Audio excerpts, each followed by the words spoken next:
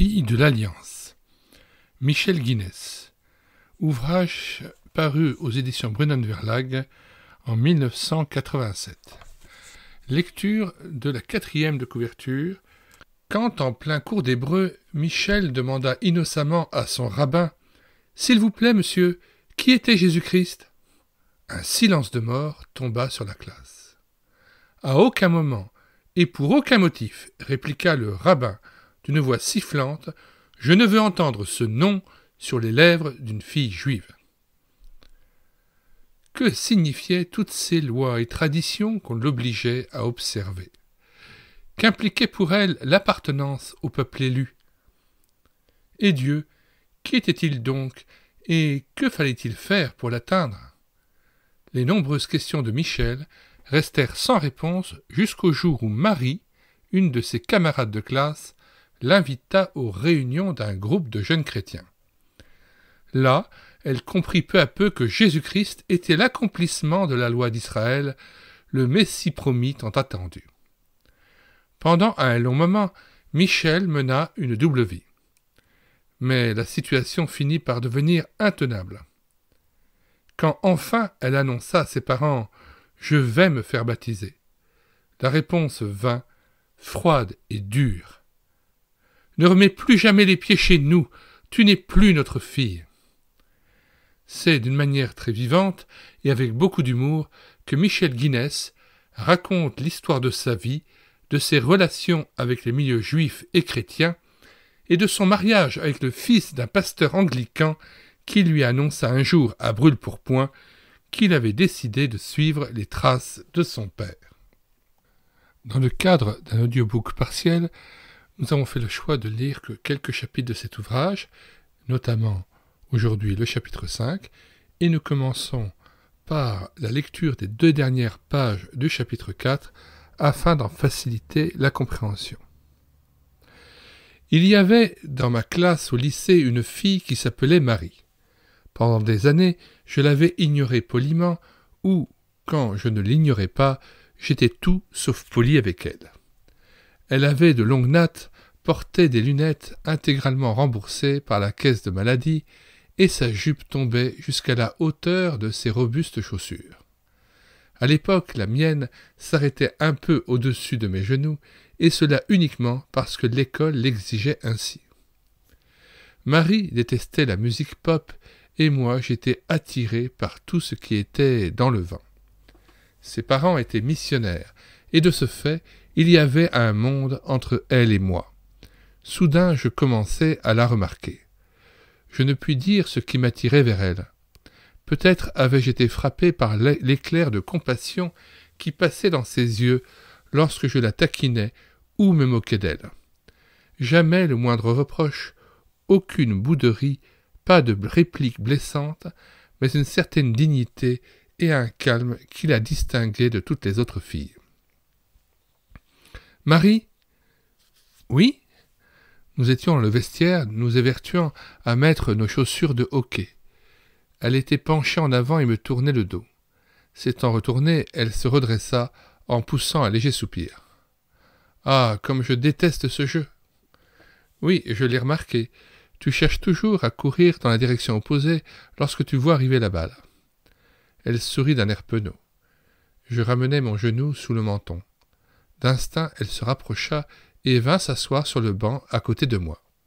Nos têtes étaient à moitié cachées par les imperméables verts suspendus au crochet au-dessus de nous. Le prof, le nouveau prof de français va à ton église, n'est-ce pas? Oui. Je me tue. Comment trouver les mots pour exprimer ce que je voulais lui dire? Elle a l'air très épanouie. Oui, et elle l'est. C'est d'autant plus étonnant qu'à la maison, elle soigne un père impotent. Qu'est-ce qui la rend alors si heureuse? C'est le fait d'être chrétienne. Je ne saisis pas. On n'a pas le choix en la matière. Ou bien l'on est juif, ou bien l'on est chrétien. Pas du tout. On ne naît pas chrétien, on le devient, parce qu'on en a décidé ainsi. Je regardais Marie en silence. Ce qu'elle disait était incompréhensible. Qu'est-ce qu'un chrétien? ai-je fini par lui demander? Elle respira profondément. Viens à mon église et tu le verras toi-même. J'éclatai de rire. Quelle idée Moi, aller dans une église, avec une figure comme j'en ai une, pour que tout le monde me dévisage et se demande si je ne me suis pas trompé de lieu de culte. Non merci, répondis-je, empoignant ma crosse de hockey. Je sortis en courant vers le terrain de jeu. Mais je ne pus chasser les paroles de Marie de mon esprit. Plusieurs de mes camarades de classe commencèrent à fréquenter son église, et cela eut, de toute évidence, d'heureux effets sur leur comportement. Elles avaient l'air plus, plus heureuses, plus aimables, plus confiantes. Je me privais peut-être de quelque chose d'important. Et si j'y allais, moi aussi, juste une fois, rien que pour voir ce qu'il en était. Chapitre 5 C'était un soir froid et humide, un de ces soirs où l'on a juste envie de rester au chaud devant son poste de télévision. Depuis un long moment déjà, je m'étais arrêté devant le portail de l'église, les yeux levés vers le grand édifice grisâtre qui se découpait nettement sur le ciel menaçant. Les fenêtres éclairées semblaient me faire signe d'entrer, tandis que les murs de granit me le déconseillaient formellement. Va-t'en, avait-il l'air de me dire, ta place n'est pas ici. Respirant à fond, j'attendis que le martèlement dans ma cage thoracique se calme un peu pour autoriser mes pieds à s'engager sur les dalles de l'escalier et à me conduire à l'intérieur de la vaste nef aux voûtes obscures et lugubres. Quel silence J'entends le bruit de ma respiration. Je sens une vague odeur de cire d'abeille et d'objets vétustes. Je vois les saints d'autrefois, du haut de leurs vitraux faiblement éclairés, m'observer d'un air sévère. Quel contraste avec la synagogue. Ici, pas de satin ni de velours, pas de pourpre ni d'or. On me donne discrètement une petite pile de livres. Oh, merci. Que dois-je en faire? Vais-je me glisser sur le banc vide le plus proche et faire comme si je n'étais pas là? Non, cela attirerait trop l'attention sur moi. Les dernières rangées de bancs sont vides, car tout le monde s'est regroupé vers l'avant. Je continue à marcher sur la pointe des pieds. Les gens se retournent, je me trouve exposé à une mer de visages au regard inquisiteur. Si seulement ils voulaient se mêler de ce qui les regarde. J'arrive sans doute un peu en retard, mais je n'y peux rien. Comme d'habitude, maman a insisté pour que je donne son bain à Vicky avant de sortir et je n'ai guère pu lui dire Je regrette, maman, pas ce soir, autrement je vais être en retard à l'église. Elle m'aurait obligé à rester à la maison. J'ai donc simplement répondu Ce soir, il faut que je sois au club un peu plus tôt que d'ordinaire. Ma réponse ne l'a pas satisfaite, car il n'y a que deux minutes de chez nous jusqu'au club. Je m'y rendrai tout à l'heure, ainsi je n'aurai pas dit de mensonge. Voici une place, tout au bout du banc à droite. En m'y asseyant, je ne dérangerai personne. Arrange à présent ta petite pile de livres sur le rebord en face de toi, comme les autres. Bon, j'espère que cela fera bonne impression, car j'ai l'étrange sentiment qu'on me suit du regard. Mais lorsque je lève la tête, je ne surprends, personne à m'observer. Le bourdonnement à l'avant cesse subitement. Suit un silence prolongé. Puis tout le monde se met à remuer. Que vont-ils faire à présent? Les voilà tous debout, psalmodiant un texte que j'ignore. Si seulement je trouvais le bon endroit dans le livre. Ou bien je pourrais faire semblant de le réciter par cœur, ou regarder alentour l'air désorienté. J'hésite, et vlan, le livre de prière me tombe des mains, et le bruit de sa chute amplifié par l'écho, résonne dans tout le bâtiment. Une centaine de pères dieux suivent chacun de mes mouvements alors que je le cherche à tâtons sous le banc. Si seulement mon imperméable en plastique ne faisait pas ce bruit de papier froissé. Pourquoi l'ai-je mis justement ce soir avec le chapeau assorti? Je n'ai vraiment rien à caméléon. Quand enfin j'émerge de dessous le banc, il n'y a plus personne. Ils sont tous agenouillés.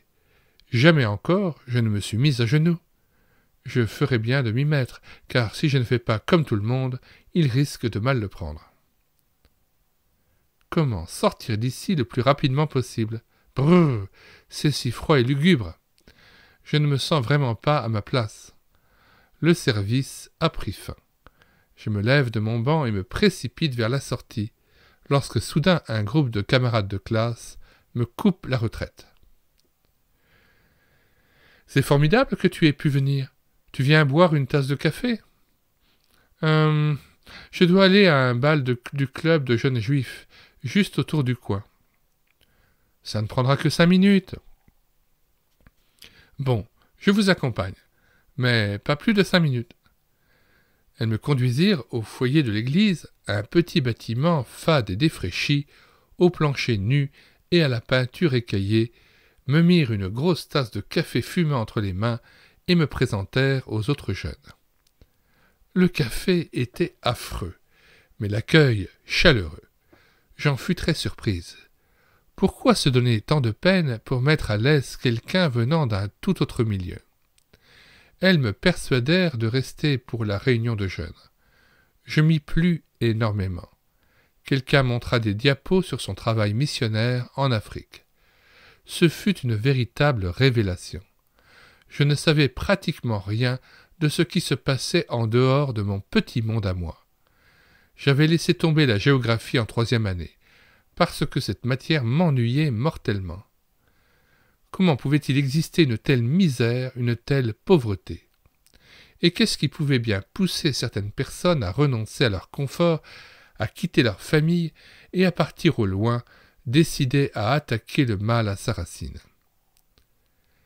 À côté de là, nos soirées disco avec leurs tournoiements et leurs papotages me parurent aussi égoïstes qu'insipides.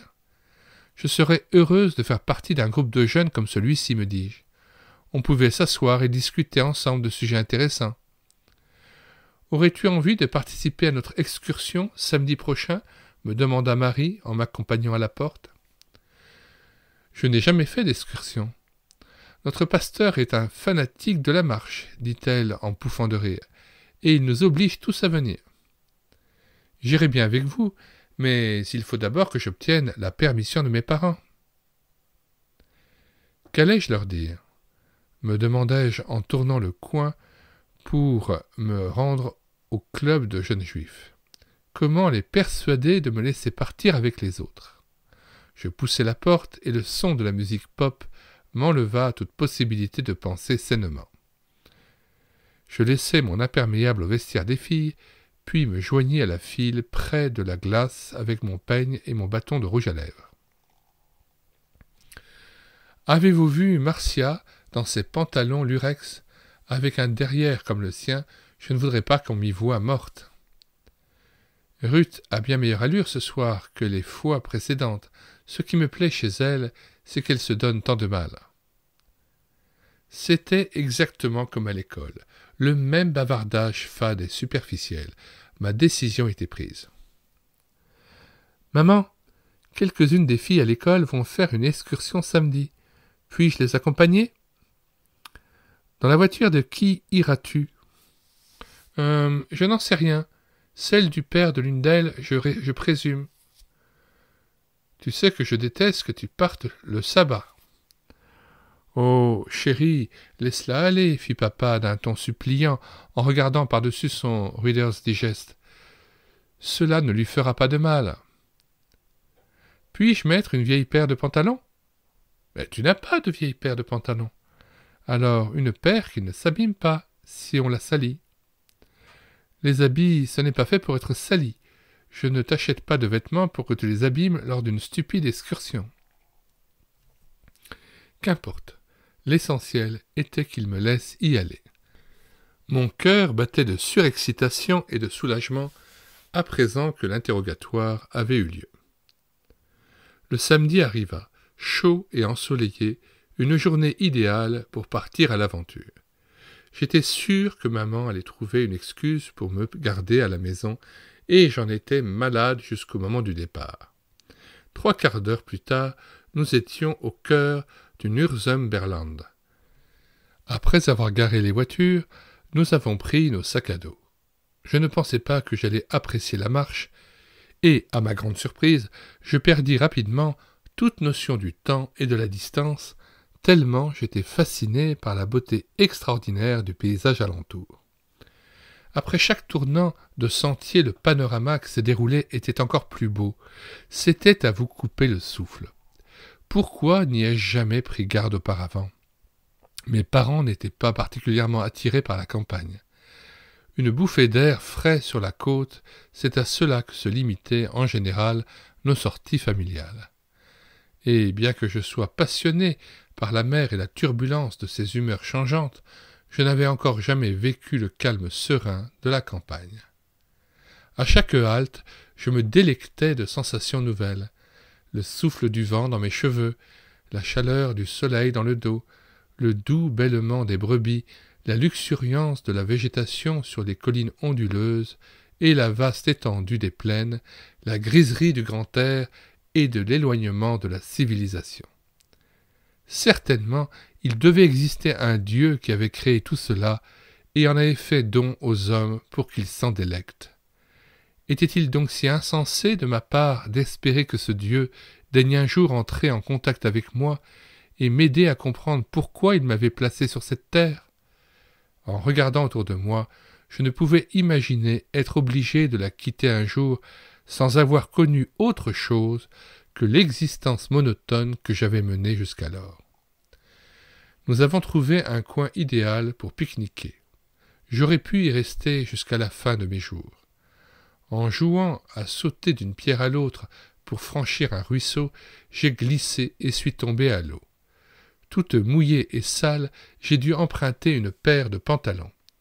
Ils m'étaient deux fois trop grands, mais j'ai ri comme jamais auparavant. J'avais l'impression que quelque chose s'était réveillé en moi après un sommeil de plusieurs années j'en étais à la fois fasciné et effrayé. D'instinct, je savais que là, un peu au-delà de la portée de mon intelligence, se trouvait le genre de vie que j'avais toujours désiré. Mais si je la saisissais, qu'adviendrait-il de l'autre vie, la seule que j'avais connue jusqu'ici? Ce jour-là, j'eus un léger avant-goût d'une joie dont j'avais totalement ignoré l'existence, mais sans laquelle je ne pouvais plus subsister. Pendant plusieurs mois, j'ai mené une vie que je qualifierais de schizophrénique. J'étais prise entre deux mondes. Le dimanche soir, je me dépêchais d'aller au groupe de jeunes, et auparavant à l'église, si toutefois je trouvais une excuse pour partir plus tôt de la maison. Puis je filais pour rallier les jeunes du club juif, remontais ma jupe de quelques centimètres, et j'étais prête pour la soirée disco. Peu à peu, le monde auquel j'étais censé appartenir perdit tout son charme, et ma présence au club devint une véritable corvée, nécessaire il est vrai pour apaiser ma conscience très sensible aux mensonges. Le service à l'église, par contre, tout en me paraissant assez étrange, exerçait sur moi un attrait de plus en plus irrésistible. N'as-tu jamais lu le Nouveau Testament? me demanda un jour Marie.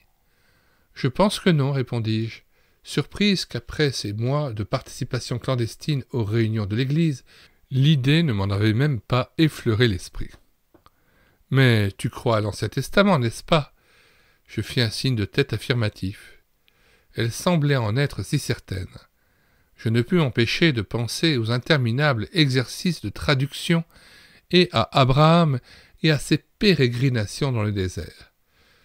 Je ne savais pas grand-chose de l'Ancien Testament, mais je croyais en Dieu. C'était peut-être suffisant. Voilà un petit livre qui t'aidera. Commence par l'Évangile de Jean. C'est un bon point de départ. Le soir, en rentrant, je sortis le livret de notes bibliques de mon sac à main et me mis à la recherche de ma vieille Bible d'école. Elle était cachée au fond de ma bibliothèque, non pas couverte de poussière, jamais maman n'aurait toléré une chose pareille, mais inutilisé depuis des années. Quand nous avons dû l'acheter pour le cours de religion, cela l'avait fâché de ne pas pouvoir se procurer l'Ancien Testament séparément. Nous sommes juifs, avait-elle crié d'une voix assez forte pour être entendue dans tout le magasin. Et nous ne voulons pas de ce bout rajouté. J'aurais aimé disparaître derrière le comptoir. À l'époque, je ne m'y intéressais guère, mais à présent j'étais contente d'avoir la Bible entière en ma possession. La serrant sous le bras, je montais l'escalier quatre à quatre et la dissimulais sous les couvertures de mon lit. Cette nuit-là, j'attendis dans l'obscurité que me parvienne du lit de ma petite sœur le bruit de sa respiration régulière et de son léger ronflement, pour tirer la Bible de sa cachette et en feuilleter les pages à la lueur de ma lampe de poche. L'Évangile selon Jean. Cela devait être l'endroit que je cherchais. J'ouvris le livret et lus. Prie et demande à Dieu de t'aider à comprendre le passage que tu as sous les yeux. Ô Dieu, priai-je à voix basse, suivant du regard les ombres qui se dessinaient sur le plafond. Si tu m'entends, je t'en supplie, fais-toi connaître à moi, car autrement je ne sais où et comment te trouver. Puis je me mis à lire, d'abord assez lentement, parce qu'il fallait que je m'habitue aux tournures archaïques de la version anglaise de 1611, puis de plus en plus vite au fur et à mesure que le récit se déroulait, jusqu'au moment où, presque malgré moi, il me fascina à tel point que je poursuivis ma lecture sans pouvoir m'arrêter avant une heure avancée de la nuit. Ce fut mon premier contact avec Jésus-Christ. Je ne savais pratiquement rien de lui. Vicky, qui fréquentait la classe d'hébreu de la synagogue libérale, car telle était maintenant l'influence de papa sur l'orthodoxie faiblissante de maman, m'avait appris que Jésus était un de nos plus grands prophètes. Il n'était pas Dieu, comme le prétendaient à tort les chrétiens, mais un homme remarquable. Papa faisait allusion à lui en usant d'un mot yiddish passablement grossier. Et l'un de mes cousins l'appelait Jésus notre frère quelle qu'ait été leur opinion à son sujet, ils se le représentaient en fait comme une statue sans vie, aux yeux de verre et à la mine pitoyable. Jésus, le Dieu des non-juifs, idole créée de toutes pièces par l'Église pour nourrir l'imagination de ces pauvres chrétiens qui ne pouvaient pas croire à quelque chose d'invisible. Mais, malgré tout, il a toujours exercé sur moi une mystérieuse fascination. Il y a bien des années, maman m'avait un jour amené voir le film Bénure. Et, à son grand étonnement, j'ai pleuré comme une Madeleine en voyant le Christ, méprisé et abandonné, porter sa croix sur le chemin du calvaire. Une fille juive ne pleure pas ce passage du film, me dit-elle d'une voix sifflante. J'ai eu beau refouler mes larmes et retenir mes sanglots, Rien n'a jamais pu effacer de mon esprit l'expression extraordinaire d'amour et de compassion que j'avais vue sur son visage. Bien que ma mère m'ait strictement interdit d'assister à l'école aux leçons de religion sur le Nouveau Testament, j'ai parfois mis une éternité à rassembler mes affaires et quitter la salle de classe.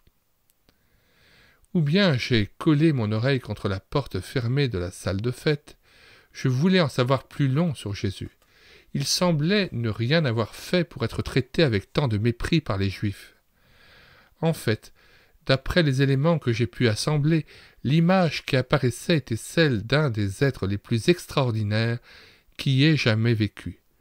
Les chrétiens le vénéraient et l'adoraient. S'étaient-ils tous fourvoyés? Pour ce qui est du nombre, la balance penchait de leur côté plutôt que d'une autre. Maman disait avec fierté que cela provenait du fait que nous, les Juifs, ne faisions pas de prosélytisme comme les chrétiens. Nous ne voulions pas de convertis, mais je n'ai jamais été convaincu que c'était la vraie raison. Cette nuit-là, en lisant pour la première fois ce qui est écrit sur lui, je sus que Jésus-Christ était vivant. Pour moi, il cessa d'être un personnage lointain qui avait existé il y a presque deux mille ans, et devint un être palpitant de vie, ici et maintenant, aussi réel que les gens à côté desquels je m'asseyais chaque jour dans l'autobus, avec cette différence qu'aucun d'eux n'était comme lui, car il était absolument incomparable et tout-puissant. Chacun de ses gestes et de ses mots avait de l'importance, non seulement parce qu'il dévoilait la cause du désordre qui règne de toute évidence dans ce monde, mais aussi parce qu'il s'adressait à moi personnellement. C'était cela que je trouvais tellement extraordinaire. Plus j'en étais fasciné, plus je ressentais la réciprocité de notre relation. Ne te fais pas d'illusions, me dis-je. Un homme qui est mort depuis si longtemps, comment peut-il lire tes pensées? Et pourtant, chacune de ces paroles me conforta dans mon impression de plus en plus vive qu'il me connaissait jusqu'au fond de mon être. Rien ne semblait cacher à ses yeux, aucune question, frustration ou aspiration, aucune de ces vilaines scènes d'égoïsme qui se déroulaient dans ma petite tête. C'était un sentiment inconfortable, mais je ne tenais pas plus à m'enfuir qu'à me réfugier sous un voile protecteur de pharisaïsme. À quoi bon? Pour Jésus, l'être humain était comme un livre ouvert. De plus, mon instinct me disait qu'il ne me rejetterait pas, mais plutôt, chose inouïe, qu'il m'aimait et qu'il avait tout ce temps attendu que je lui prête attention. Je fus ravi de constater par son attitude envers les pharisiens qu'il semblait parfaitement comprendre ma réaction à l'hypocrisie. Lui aussi se fâchait.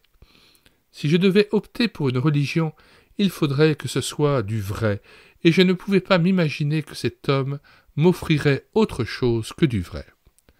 Je poursuivis ma lecture jusqu'au moment où je fus arrêté net par une déclaration de Jésus. Il y a beaucoup d'endroits où demeurer dans la maison de mon Père, et je vais vous préparer une place, je ne vous l'aurais pas dit si ce n'était pas vrai. Jean chapitre 14 verset 2. Je la lus et la relus pour m'assurer que je ne m'étais pas trompé sur son sens. J'avais de la peine à croire que je tenais la réponse à la question qui m'avait obsédé depuis des années. Personne, pas même un rabbin, n'avait osé me parler du ciel avec tant soit peu de certitude. Fais de ton mieux, me disait-on, et un jour, qui sait, il se pourrait que. Mais un simple peut-être ne me satisfaisait guère. S'il n'y a plus rien au-delà de la tombe, la mort tourne en dérision chaque moment de la vie. À quoi cela sert-il de faire de son mieux en vue d'un objectif qui n'existe peut-être même pas? À quoi bon continuer à vivre? Était-il possible que Jésus ait raison? Qu'il y ait effectivement une vie après la mort et une place pour moi dans le ciel? Non, cela me semblait trop beau pour être vrai, un peu comme un conte de fées. Qui étais-je pour oser affirmer que des générations de juifs s'étaient trompés Que connaissais-je de la théologie? Mais je pouvais du moins faire usage de ma raison comme n'importe quel autre être humain. S'il n'existait ni ciel ni enfer, Jésus était un menteur. Or, comment un homme qui avait dit tant de choses ayant un tel accent d'authenticité, pouvait-il être un menteur? Soit il avait pu se forger des chimères ou succomber à des hallucinations. Mais dans ce cas, on l'aurait enfermé en lieu sûr. Et si le maître de Vicky, au Ider libéral, avait raison, et que Jésus n'était qu'un grand homme, un autre prophète. Mais il semblait ressortir de ses propres paroles qu'il était Dieu. Aucun autre prophète juif n'avait osé prétendre cela. C'eût été un blasphème. Restait une dernière possibilité. Jésus était ce qu'il disait être le Messie attendu par mon peuple depuis des millénaires. Je fermai ma Bible, la fourrai sous l'oreiller, éteignis la lampe de poche et essayai de dormir un peu mais mon esprit galopait. Charge-toi de la croix et marche à ma suite. Que signifiaient ces mots? Si je me décidais à suivre Jésus, serais-je obligé de dire adieu à ma famille, mes amis, mes traditions, à la seule vie que j'avais connue jusqu'ici? Eux, en tout cas, me feraient leurs adieux. Oh non, Dieu, pas cela, je ne pourrais pas. Reprends-toi, ne sois donc pas si bête. À qui oses-tu parler ainsi? À un Dieu qui vit bien au-delà de notre galaxie dans une splendeur inaccessible. Quelle folie de penser qu'il s'intéresse à un infime grain de poussière comme toi. La nuit suivante, je sortis à nouveau ma Bible pour en continuer la lecture. Philippe, le disciple, avait trouvé les mots pour exprimer mon dilemme. Seigneur, montre-nous le Père, et nous serons satisfaits. Jean 14, 8. Oui, telle était la question que je me posais. À quoi Dieu ressemblait-il? Je n'avais encore jamais osé me faire une image mentale de lui. On ne trouve aucune représentation de Dieu dans les livres juifs ou dans la synagogue. Ce serait une violation du deuxième commandement interdisant la confection d'images taillées. D'une certaine façon, j'étais encline à étendre cette interdiction aux représentations de Dieu qui étaient le fruit de mon imagination. La réponse de Jésus m'a interloqué. Il y a si longtemps que je suis avec vous, et tu ne me connais pas, Philippe? Celui qui m'a vu a vu le Père. Jean chapitre 14 verset 9. Soudain, je compris que c'était justement les choses qui m'attiraient vers Jésus-Christ, qui reflétaient parfaitement la personnalité de Dieu, son Père. Je pouvais donc enfin donner à mon imagination la liberté à laquelle elle aspirait. Je pouvais commencer à voir Dieu. Mais je ne me doutais pas à quel point une telle pratique pouvait être déconcertante. Ma conscience ne m'avait pas souvent harcelé auparavant, mais à présent j'avais l'impression qu'une paire d'yeux invisibles observait tout ce que je faisais. Les longues heures passées à flirter lors de surprises parties se mirent à me répugner des paroles ou des actes auxquels je n'aurais jamais réfléchi à deux fois commencèrent à troubler ma paix intérieure. Monter dans l'autobus sans payer, c'est du vol. De nouveau en train de mentir? C'était une remarque vraiment blessante et injuste. J'avais conscience du fait que Dieu, du haut du ciel, jugeait tout ce que je faisais, et que tout ce que je faisais n'était qu'une lamentable faillite. Allait-il me le pardonner et opérer un changement en moi?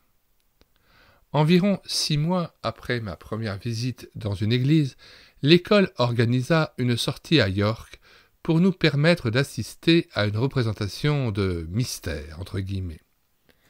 Un week-end loin de la maison, passé avec des amis, était un plaisir assez rare, et au moment où l'autocar prit le départ de Newcastle, mon cœur se mit par anticipation à battre la chamade. Vers le soir, la pluie avait répondu avec bienveillance à nos supplications en se muant en une légère bruine. Imperméabilisés contre la pluie jusqu'à la gauche, comme seuls les Anglaises savent l'être, nous trottions deux par deux, en une file onduleuse, sur le vaste terrain autour du château illuminé par la lumière des projecteurs notre groupe finit par trouver sa place parmi des dizaines d'autres délégations scolaires. Quelqu'un distribua des caramels, et, tout en les mâchant, joyeux, nous nous serrions les uns contre les autres pour nous protéger de la fraîcheur du soir. Je ne m'étais pas rendu compte que les mystères étaient des mises en scène médiévales de récits bibliques allant de la création à la fin des temps. Mais en voyant ainsi la Bible représentée dans son ensemble, je fus frappé de constater à quel point le Nouveau Testament était enraciné dans l'Ancien, dont il était à la fois la continuation et l'accomplissement. Lorsque l'obscurité se fit dans les gradins et que les lumières de l'immense scène s'allumèrent au-dessous de nous, les bruits de mastication et les remuements s'atténuèrent peu à peu et la représentation commença à exercer son pouvoir magique sur l'assistance la foule autour de nous cessa d'exister. Le banc, dont j'éprouvais douloureusement la dureté quelques instants auparavant, cessa de capter mon attention. J'étais en extase, conscient d'une seule chose. En avançant implacablement vers la crucifixion, nous nous approchions du point culminant de la soirée. Le Christ était jugé, hué, conspué, rejeté une énorme croix fut traînée d'un bout à l'autre de la scène. Les soldats romains lui arrachèrent ses vêtements et enfoncèrent les clous, frappant à coups de marteau qui résonnaient dans tout le domaine du château d'York. Lorsque la croix fut dressée, le corps de Jésus étendu sur elle, tout se remit soudain en place pour moi, et je compris ce que j'avais lu les semaines précédentes. J'aurais voulu me lever, sauter et crier. Ça y est, je vois, Jésus a dû mourir pour moi, pour mes péchés, pour que je puisse recevoir son pardon et le don de la vie éternelle. Mais, me cramponnant à mon banc, je restai assise. J'étais si ému que j'en avais le vertige tous les reproches que je m'étais faits, les sentiments de faillite et d'inutilité qui depuis des années m'écrasaient et m'empêchaient de regarder Dieu en face, tout cela a été chargé sur Jésus, le Messie, et cloué avec lui à la croix. C'était là la vraie liberté dont il parlait.